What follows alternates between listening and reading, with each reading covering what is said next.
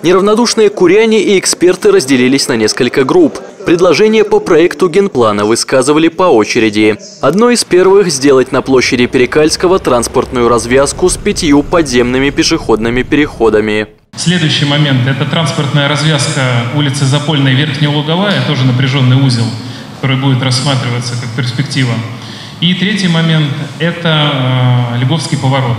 Точно так же транспортная развязка с, с устройством путепровода.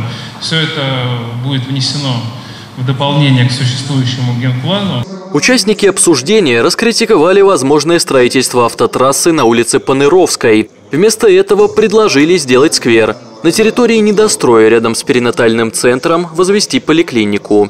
Самое большое количество нареканий у горожан вызвало состояние дорожной сети. По Кулакова в мост э, три, три полосы упираются в две. Энгельса вообще можно, я думаю, что до четырех полос в каждую сторону расширить, там рядом с трамвайной линией газон позволяет.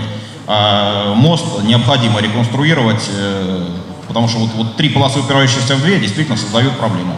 Сбор предложений по генеральному плану города продлится до 30 июня. Их систематизируют и отправят разработчикам проекта. Предложений очень много. Предложений много по функциональному зонированию. Каждое надо просмотреть, рассчитать, подложить экономику.